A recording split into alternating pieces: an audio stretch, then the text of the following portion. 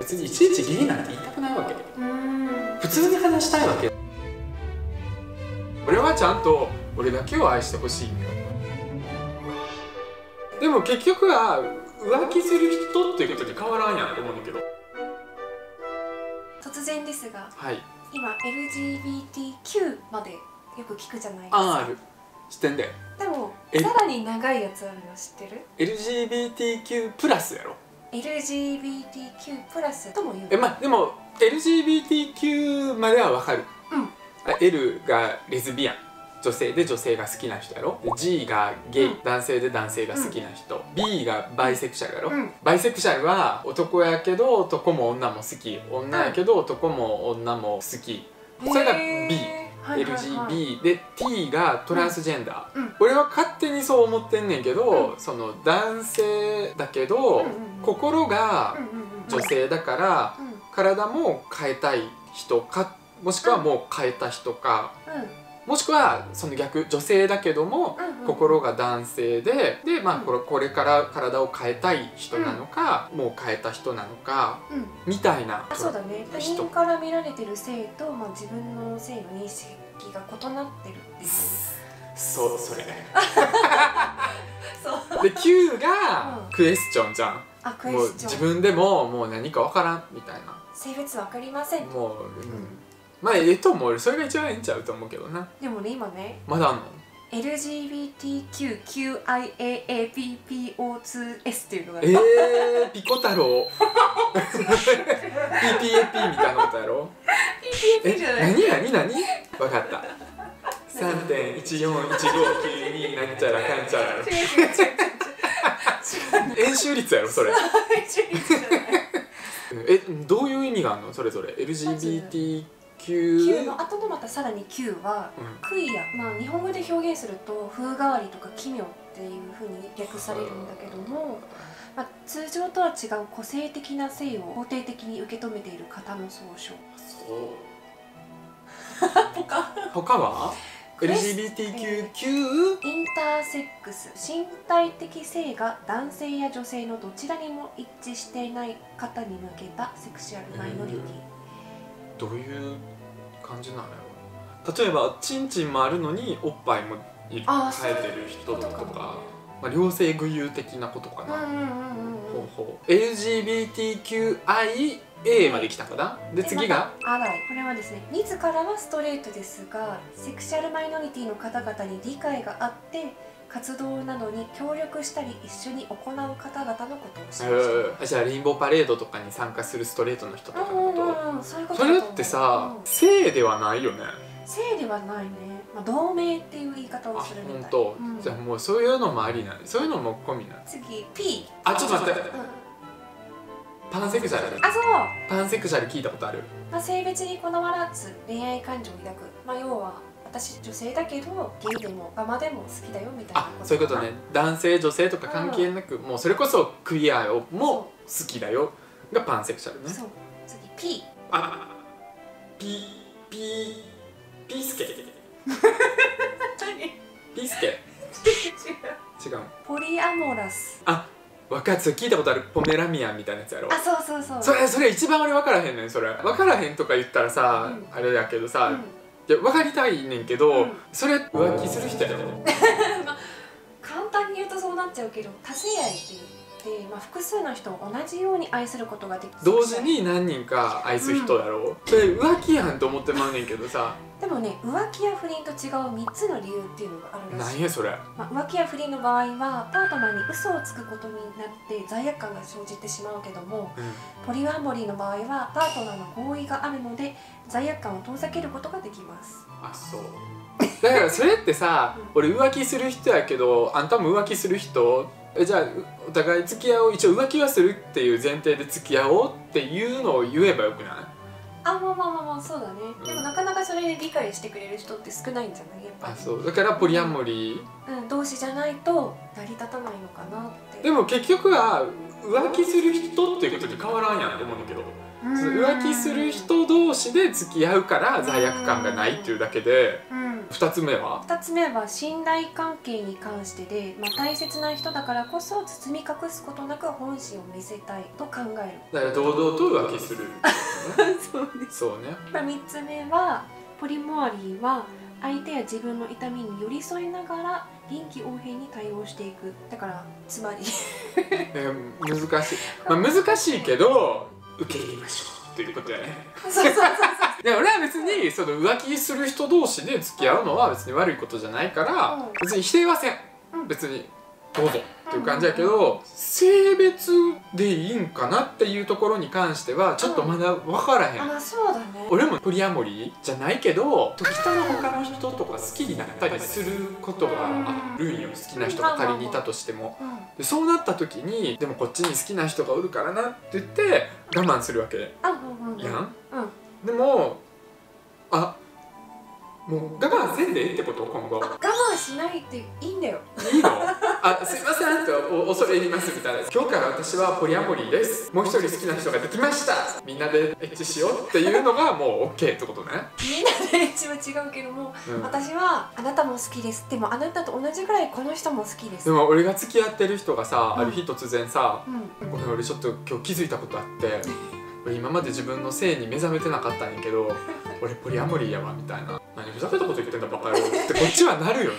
えじゃあ結婚してたら子供おったら？あこれもねでも婚してるか未婚かも関係ないのよえじゃあ仮に自分がストレートで、う女性と結婚しました、うん。エッチして子供できました、うん。不貞行為はあかんやんそんなんやったら。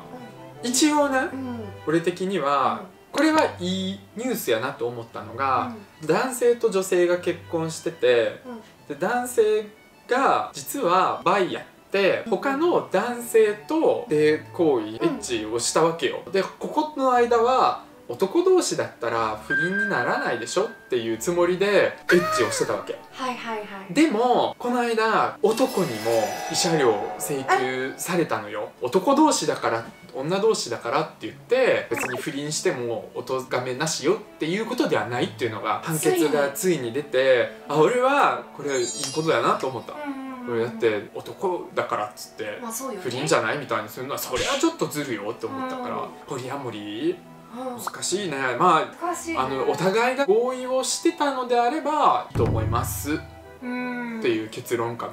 嫉妬とか耐えられる？俺が許せるのは他の人とどうしてもエッチはしたいみたいな。エッチはしたかったからやってみたけどやっぱり心も体も一番の愛はブラスだぜみたいなやつだったら許せる、許せるんだ。うん、だからただの浮気なら許せるけど逆にそのポリアモリーやと平等に愛せてしまうっていうのが許せない。俺はね。ちょっとそれ嫉妬しちゃうでそれを許せないことをうん。LGBTQ 差別っていうふうに言うんであればもういいよ俺も差別主義者だよそしたら仕方ないじゃんだって許せないものは許せない俺はちゃんと俺だけを愛してほしいのようん難しい話だねそれはまた多性愛それ自体は認める、うん。お互いが合意だったらねって、ん。ただ私はそれはちょっとできませんのでってまあそれは普通のストレートの男性がゲイは別にいてもいいと思うしどうぞ好きにやってください。私はちょっと無理ですけどねっていうのと一緒やからそれは。難しいなそうやな。あと何があんの？おオムニセクシュアル。オムニセクシュアルは、まあ、パンセクシャルのような全性愛と略されているんですけども、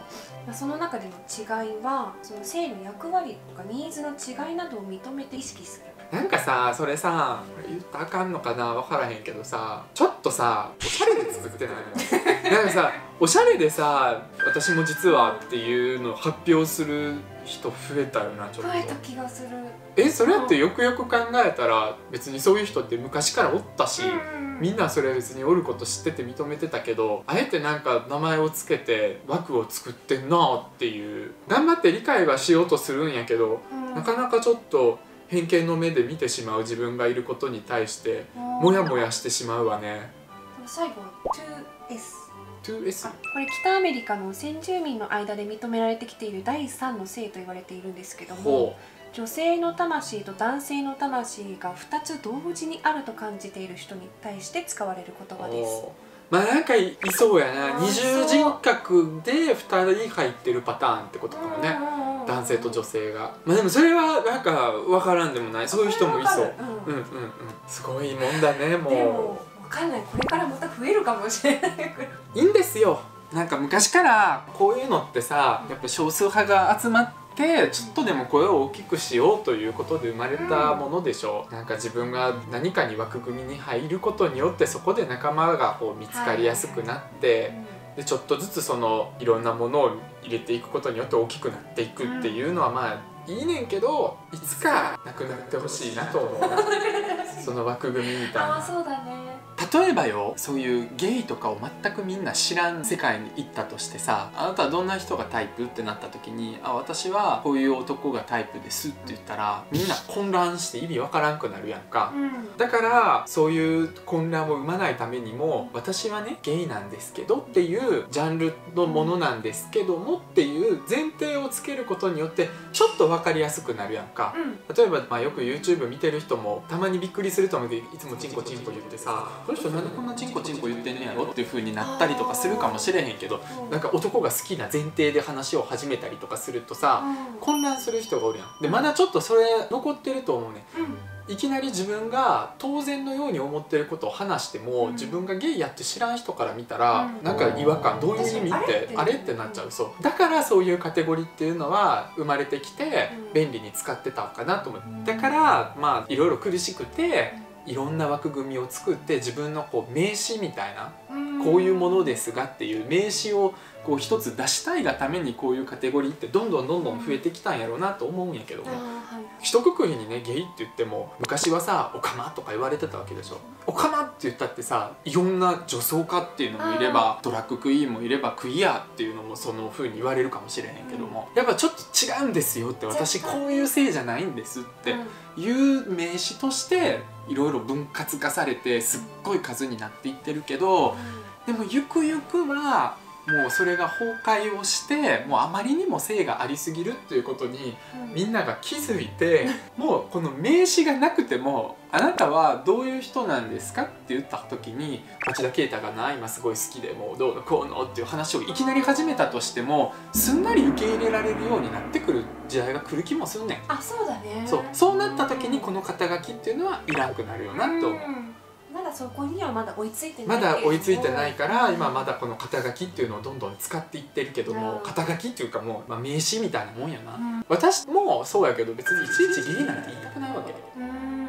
普通に話したいわけ。でもそれがやっぱできない、まあ、それでやることによって迷惑をかけてしまう。混乱した人って迷惑やんそれ。多分正直。いきなり話どういうことってからまあ名詞として使ってるけど、うん。まあ、徐々に徐々にいろいろ変わってくるんでしょうけどね。ね。こういうことをね話すとなんかそういうのを受け入れないっていうのも多様性じゃないっていう人が出てくるよね。あ。逆に？うん。受け入れない。受け入れられないという性を作ればいいじゃんっていう他の性を受け入れられない性みたいな。ちょっと待って。多様性？多様性って言うんやけどもさ多様性っていろんなことが許されることが多様性だっていうふうに言う人もおんねんけど要はもういろんな今まで我慢してたことを我慢ししなくてもいい社会。うん。例えばねそれこそ「性欲」っていう本を読んだんやけどもね。うん。浅井亮さん正しい欲と書いてでどこまでが欲望として正しいのかっていうのをちょっと考えさせられるような小説やねんけど、まあ、その小説に出てきたのは物にもう恋愛感情を抱く人。もうほんまにそれこそ大きな電柱とかもしくはなんか液体とか。それを見るだけで興奮してしまうような性の人もじ実際におるねん。そういう人も、でもそれってうん？ってなるやん。でもまあでも多様性という意味ではあ、まあ、それも受け入れようかとかなったりとか。あとはもっと究極なことを言ったら死体とかあとは幼児性愛者の人とか。それってでも決してゲイとか LGBTQ とかとは俺は違うと思うねんけど、うん。なんでかっていうと被害者が出てきてしまうからね。うんうんそうだね。だから多様性って言ってもいろんな欲望で社会的に許されるもの許されないものっていうのはあるんだよと。今この LGBTQ だなんだかんだっていうのは今社会的になんとか許されるもの側の岸に入っていってるけどももちろん許されないっていうものもいっぱいある。だからその線引きって誰がどう決めるの？っていうのを考える本やねんそれは。はいはいはい。まあ、だから多様性っていうのはちょっとある意味ではおめでたい言葉かもしれないねと。うんこの時代らしい言葉ではあるね。ではあるけど、まあ、ある意味ではおめでたい。全てを受け入れてしまうということは本当に可能かどうかっていうところも出てくる。いろいろ言ったけどね。メオラニ？ーポメラニポリアモリそうそれに関しては俺はなんか「えー、それってそういうことなんじゃないの?」とかって言ったりしたけどもこれは俺がほんまに知らん世界の話やから、うん。もしかしたら「違うねん」っていう言い分もあるかもしれへんしお互いを全て理解するっていうのはこの LGBT の中でもできてないことではあるけどもでもみんな生きてます。でそれは認めましょうよと。まあ俺は厳密に言うと自分に迷惑をかけることさえなければ誰が何してようがどうでもいいです。それが私の多様性以上です。